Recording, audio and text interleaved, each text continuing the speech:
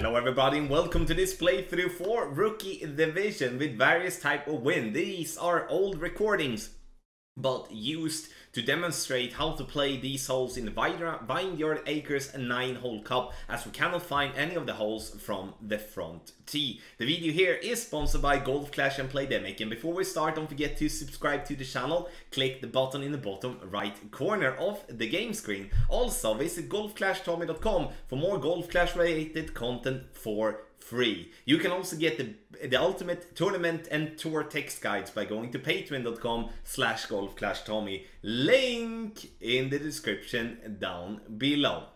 The info box on the right hand side will uh, like will display the elevation adjustment for the first, for the second, and also for the third, if we do have three shots to play. Also, what type of ball and clubs I do feel is going to be the best ones to use uh, for that specific hole. Have in mind that you don't need to follow that. You might have different type of clubs that you want to play with. And if you do have any questions about that, make sure you comment in the comment section below or go to the website golfclashtommy.com and send me an email and I will definitely help you out. Last but not least, if you enjoy it, please take your time, hit thumbs up. Would be awesome if we could see a hundred thumbs up on this video.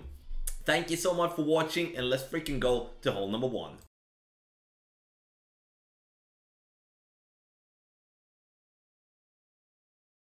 For hole number one, we are going for green. Here, I would uh, say that the Titan ball would be the best ball to play with here due to its power 3. 4.5 bar top spin and 4.5 bar side spin to the right. 4.5 bar side spin to the right is the maximum with a side spin 2 ball. You can see that we do have a little tailwind together with the crosswind, so pay close attention to what I'm gonna do here. I stretch out into the position where I want my ball to bounce, and from there I do adjust my reins. This is to uh, get the understanding of how much of overpower I do need to use uh, after my adjustment, especially now when we do have a little tailwind. I'm using a lot of curl as well, or let's say I'm using as much curl to the right possible with the extra mile that I'm having. And the plan is to get it obviously to the green if possible, but otherwise we're going to have it on the left side of the green for a very simple wedge towards the pin.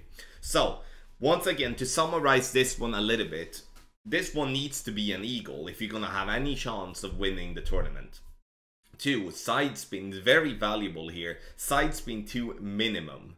And then last but not least, play with a driver that gives you the most distance possible because the distance will also be very, very valuable so you can go directly over the rough instead of having to bounce over the rough as our opponent did there. Obviously now the opponent is in the rough, but even if he or she wouldn't be into the rough, that way that short iron that would be from that spot would be difficult.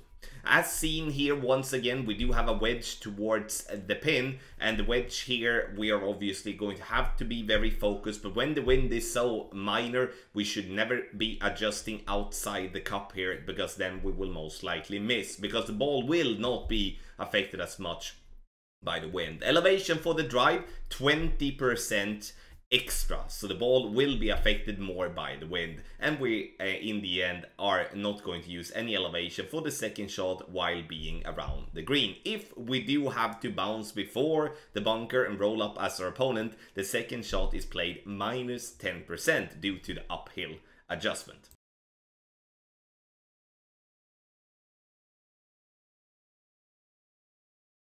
We come to hole number two and here we're either going to play with the sniper or the viper. And what would make us, what is the decide maker here? Like the the one attribute that we are deciding between is the backspin. If we do have the sniper level 5, we are going to have 3 bars of backspin, then that's the club for us to play with. Otherwise, it's going to be the Viper. We're going to have to play very close to the rough line at the bottom, if only being uh, able to use 3 bars of backspin.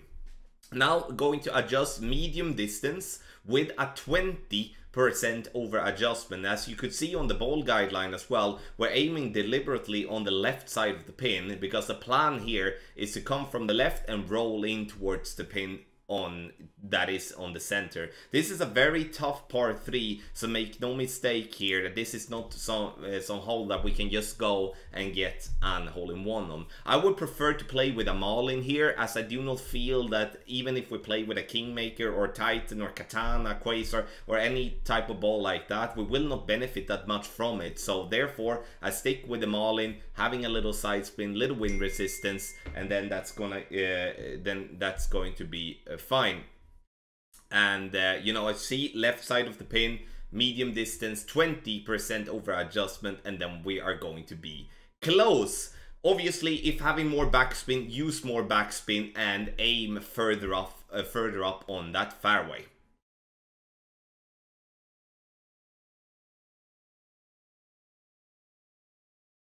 For hole number three, I would consider this one to be the best albatross attempt that we do have of the Vineyard Acres. Now I'm going to play with somewhere between two to four bars of topspin, as much side spin to the right possible, and then we're aiming very close to the rough line on the right. You can see that I have a little gap from the yellow ring to the right by the rough there. Adjusting max plus 10. So we do make an over adjustment, meaning that the ball will be affected a little bit more by the wind. Half a ball of curl outside the adjustment ring to the right. You can go with more if you want to, because it will not really hurt you. And I want to explain why I'm not, uh, why I don't want you to use more than four bars of topspin here the reason for that is, let's say that you are going to use 6 bars of topspin, or even more if you do have that possibility, then you will most likely end up into the rough on the left hand side. And from there it's not going to be difficult to, to reach the green, but it's going to be difficult to have an attempt for the Albatross whatsoever. So getting over the water there, which is obviously key here to get this uh, get this Albatross attempt in a good way. And look here what our opponent is doing. Sure, it's going to stop just by the rough, but picture that by being using more topspin there. And that's why it's also having having a lot of side spin is super duper valuable. Now we're going to be close to max distance most of the times with the backbone. And the backbone is a good club due to its better accuracy and also better ball guideline than other long irons, especially in a lower level. Sure, those of you having higher level clubs like a Grizzly level 7 do have a massive ball guideline to play with and therefore that, uh, therefore that club would be better in that way.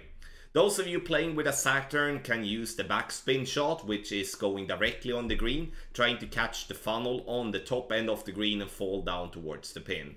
I'm using topspin here, doing a rough bump, no elevation, and then you just try to measure what type of club distance you are at. And this is once again it's going to be a good opportunity for an albatross but no one uh, not, uh, not an albatross that you can count with but i would say kind of close to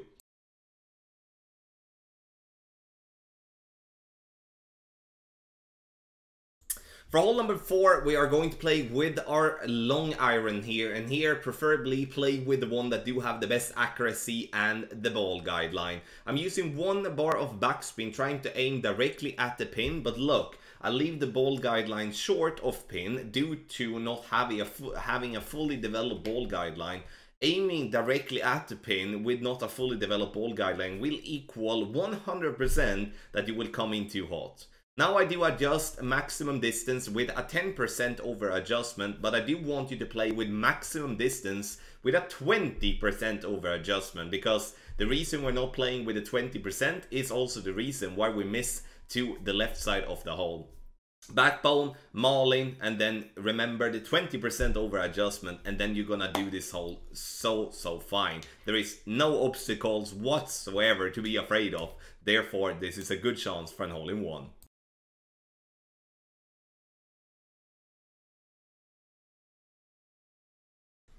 For hole number 5 we're gonna play a tough par 5 and the reason I say this is a tough par 5 is due to the especially the second shot. Four and a half bar top spin and then max side spin to the left. We do want the ball to bounce underneath the tree, the tree wrench and you know it's not wrong to actually have a position that is further right.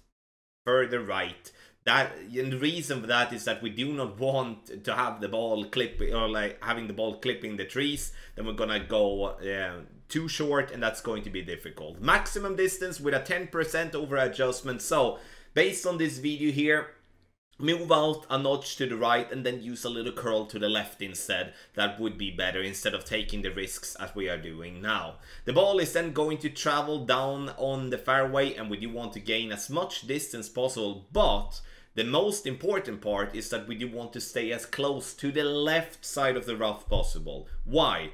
It's because from there we will then have a shorter distance towards the pin. As this is not a linear hole, means that we're playing straight forward, we're then playing left. If we would be straight in the middle of that fairway or we're more to the right, even if we have a longer drive, uh, than what we would be if we have a drive that is to the left in terms of yardage, then we would still be further away from the pin if we're more to the right side of the fairway than being on the left. So we need to think about that, trying to once again be as close to the left side possible on that fairway very close to the rough the closer the better but obviously we don't want to be in the rough. That's obviously uh, like a no-brainer.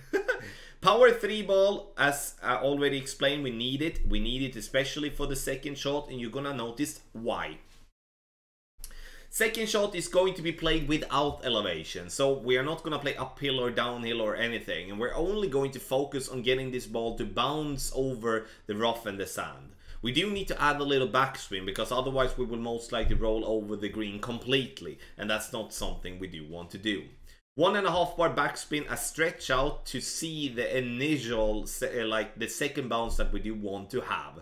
So you can see that I stretch out into overpower and then we do adjust. And we adjust max distance, no elevation whatsoever. And then we're going to have to go with, in many of the cases, a little overpower. Because in the end, we want the ball to bounce on a higher point than what it's possible to do. So therefore we do need to add overpower. Unfortunately, I do clip the rough in that way. So i would strongly recommend to give yourself a little bit more room than what i gave myself there. But it's going to be a very tough par 5 and especially if you're not playing with a power 3 ball you're gonna have to somewhat go with max overpower here. And we're gonna see this here to be um, a hole that costs people the eagle and then we'll get the birdie instead. So if you can consistently get an eagle here be satisfied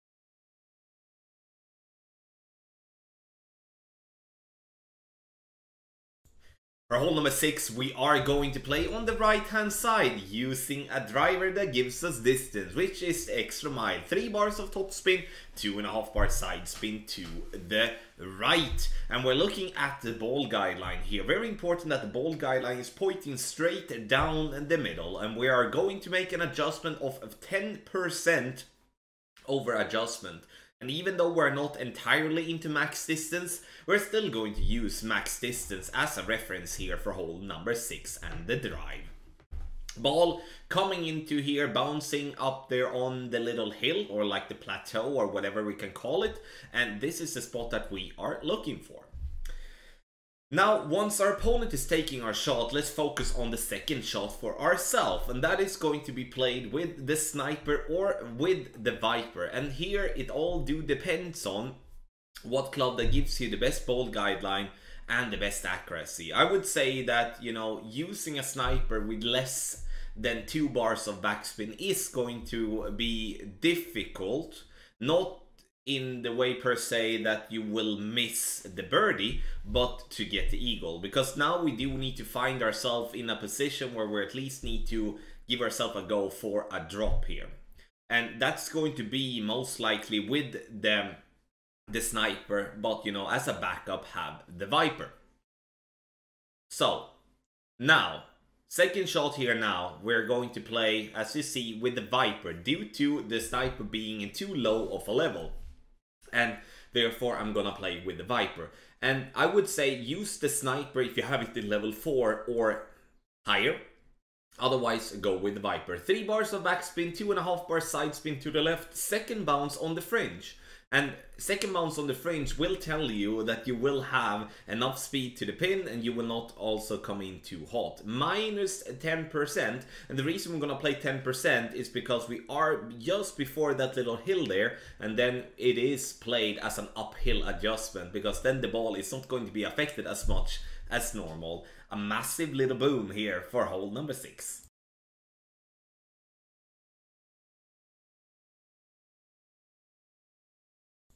Hole number 7 is the final par 3 in this playthrough and this par 3 is not difficult at all. It looks like it, but it is not and that's because we can actually play this one without any side spin whatsoever. I would recommend though to play with a Marlin to reduce the wind a little bit but also to have a little side spin if we do have a strong crosswind coming either left to right or right to left so we don't have to aim super duper close to the rough line.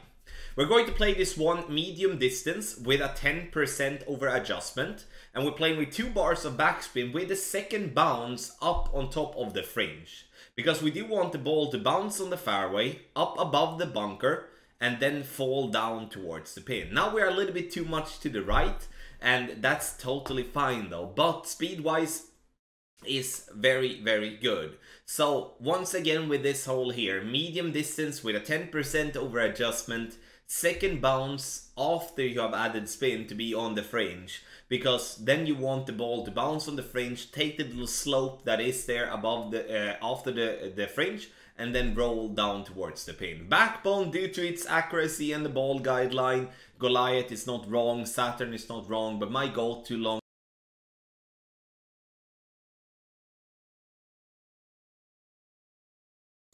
For hole number 8, the final of the par 4s, we're going to play with 4.5 bar topspin and as much a side spin to the right possible. But in the end though, is it worth playing with 4.5 bar topspin here to uh, risk going that close to the left hand side? Because you can see on this fairway it slopes right to left, okay? So we do need to have that in mind when we're playing this shot because the ball is going to be pushed to the left. So we do need to apply curl once we have applied the spin. Half a ball of curl to the right is going to make it enough and I do adjust maximum distance with a 10% over adjustment and you can see there that even if we do use curl, we use side spin 3 but we'll still get pushed to the left and then you can just uh, imagine how difficult this hole is going to be if you do play with any form of ball that do not have side spin 3. To just have it said, this is my opponent's uh, second shot here using the Guardian and the only problem he has here is with distance. I do love the fact that he's show, choosing the Guardian and that's the club that I would recommend you to choose as well even though it's in level 1. Why, you may ask? It's because even though you have a sniper in level 6 and 7, you're not gonna have the backspin enough to get the ball to stop on the green and fall back for a chance of an eagle. Then we would only be playing it as we would be playing it for a birdie, and that's not really what we wanna do on a par 4. So, second shot for us is going to be with the big dog, as, you know, the sniper is in a very low level, but and the big dog has the distance. But the problem with the big dog is once again, we do not have the backspin. Because the thing that I would like to do is to use the backspin of the Guardian to aim for the second bounce on the back end of that fairway. Because then it can slope down towards the uh, towards the pin. Very difficult one to to manage to make an eagle on, but it's going to be the best one. Guardian Club here once again, instead of the big dog, instead of the sniper, because the Guardian has generally a good distance. It also does have the backspin.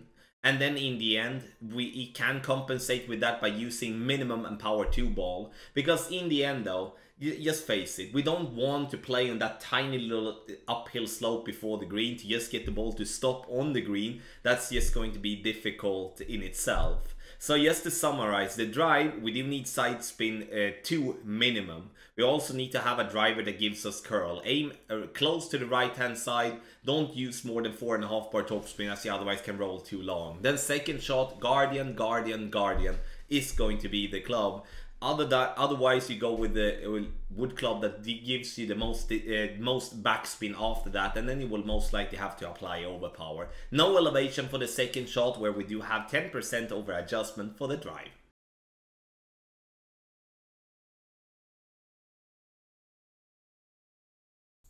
Last but not least, we're going to play a very tough par 5 where an eagle is going to be considered a drop. Use the quarterback, use two bars of topspin and then use a side spin to the right if you can. You don't have to use side spin, but I normally play with side spin to the right on this hole here. The only important thing here is to get this ball as close to the top of the rough possible, okay? The reason we want to do that is because it's going to help us when playing the second shot. Two bars of topspin is generally okay, three bars of topspin wouldn't be wrong, but that could, with a tailwind in your back, be making the distance not as you want to. 10% over adjustment for the drive. And you can also see in the info box that I do have three elevation numbers. And that is because we're going to play three shots here. You cannot reach the green in two shots uh, if not reaching over all that big piece of rough. And just have that said, you do need to have at least a 10 mile per hour direct tailwind and combined with at least 7 bars of topspin to be able to get over there. So that's not going to be a shot that you can do in rookie division. I just want to have that said. Now for the second shot, we're gonna go straight forward. And here we either use the big dog or we use the horizon. Why do I suggest the horizon, you may ask? It's because of its topspin. It might not have as many yardage as the big dog, but it does have a lot of topspin. And the only thing that we are looking for is to get the ball down and past the trees that we do have on the right. Okay? So with the big dog, I'm using 6 bars of topspin. I have to go with max overpower to gain as much distance possible. And you can see here that there is the trees, there has the trees ended. And that's the position we do want to be at. Now, we are not done, obviously.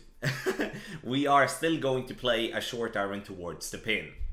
Short iron is going to be the one that you prefer to use. For me personally, it's the Thorn, but I would recommend that if you do have uh, a different type of short irons to, to choose between and you're not really found, about any of them, choose the one with the best ball guideline as a first go because the ball guideline will help you tremendously when aiming for the pin. So no elevation for the second shot and here you can see we have an open shot towards the pin. We're going to play this one very close to maximum distance. I would say this should be adjusted approximately uh, 3 quarters of a club, 75%. But it's difficult as well though because in the end it's very hard to replicate the position after the second shot all the time. So we're going to have to adapt, we're going to have to try to build a reference uh, depending on where we end up after the second shot because you're not gonna have any yardage to play with. You're not gonna have anything basically. I'm using, I'm not using any spin here. It's not wrong to use a bar or two, but normally I don't use any spin here, trying to get this ball to just bounce and then roll towards the pin. Very unlucky not getting the eagle, but once again, an eagle here on hole 9 is considered an extra drop. So don't be mad on yourself if you do get a birdie on this very tough par 5. 10% over adjustment for the drive, Nothing for the second, nothing for the third. Power 3 ball minimum would be my goal on here on hole 9. Thank you so much everybody for watching this playthrough for Rookie Division with various type of win on these holes as they are not possible to be found from the front tee. And in the end, follow the info box on the right hand side for the information that is needed. Don't forget to get the best tournament guides on the market by going to patreon.com slash golf clash golfclashtommy link directly in the description down below. Video here is sponsored by Golf Clash and Playdemic. Thank you once again for watching and good luck in the Vineyard Acres 9 Hole Cup.